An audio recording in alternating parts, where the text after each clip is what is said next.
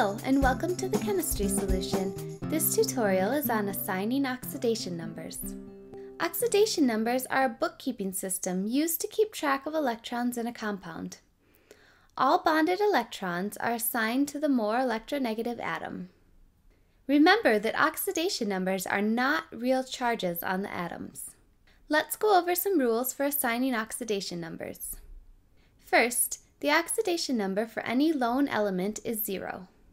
Some examples would be potassium or aluminum. But the oxidation number is also zero even for molecules composed of all atoms of the same element, like O2 or S8. Oxidation numbers are usually assigned to the most electronegative elements first, which means that the oxidation number assigned to fluorine is always negative 1. The oxidation number assigned to oxygen is always negative 2, except when in a compound with fluorine. Oxidation numbers are assigned based on the ion they would form, using the group number on the periodic table.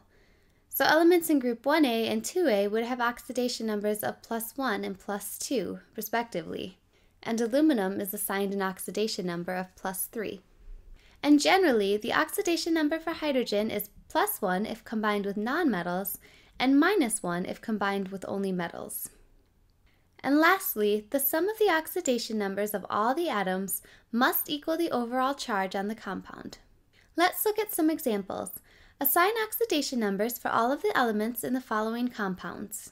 Looking at our first compound, OF2, we know that we need to assign the oxidation number for the most electronegative element first, and that would be fluorine. Fluorine has an oxidation number of minus 1. But there are two fluorine atoms, and so when assigning oxidation numbers, I like to keep track by writing the oxidation state right below the atom in the compound and then multiplying it by the subscript on that element for a total of negative 2. Now remember that the sum of the oxidation numbers must equal the overall charge on the compound. So for OF2, the sum of the oxidation numbers must be 0. This means that oxygen must have an oxidation number of plus 2 because plus 2 and minus 2 equals 0. So in this compound, fluorine has an oxidation state of minus 1 and oxygen has an oxidation state of positive 2. Moving to the next example. Again, we assign the oxidation number for the most electronegative element first, which means that oxygen has an oxidation number of minus 2. You could also determine this by looking at where oxygen is on the periodic table and remembering that oxygen normally forms ions with a charge of negative 2.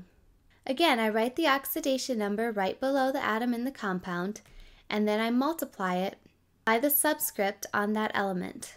Here we have three oxygen atoms, each with an oxidation number of negative 2, giving us a total of negative 6.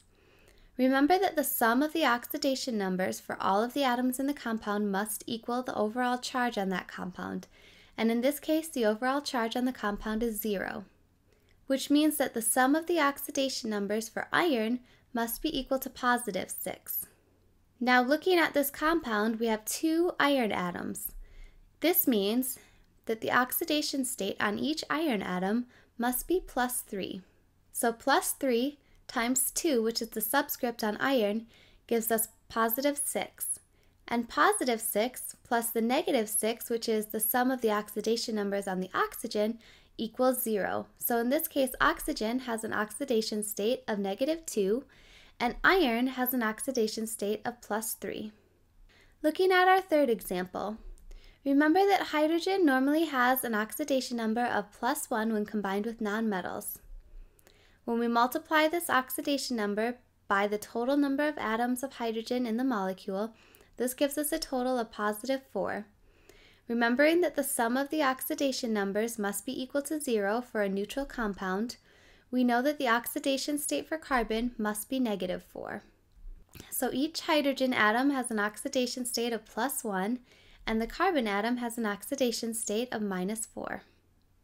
Looking at our last example, First, we assign the oxidation number to our most electronegative element first. This means oxygen has an oxidation state of negative 2. This makes the sum of the oxidation numbers on the three oxygen atoms minus 6. Remember that the elements in group 1 have an oxidation state of plus 1. This is equal to the charge of the ions that these elements typically form. And remember that hydrogen has an oxidation state of positive 1 when bonded with nonmetals. This means that the oxidation state for carbon must be positive 4 in order for the sum of all of the oxidation numbers in this neutral compound to be equal to 0. So oxygen has an oxidation state of minus 2, sodium has an oxidation state of plus 1, hydrogen is also plus 1, and carbon is plus 4. Thanks for watching the chemistry solution. We hope you enjoyed this tutorial.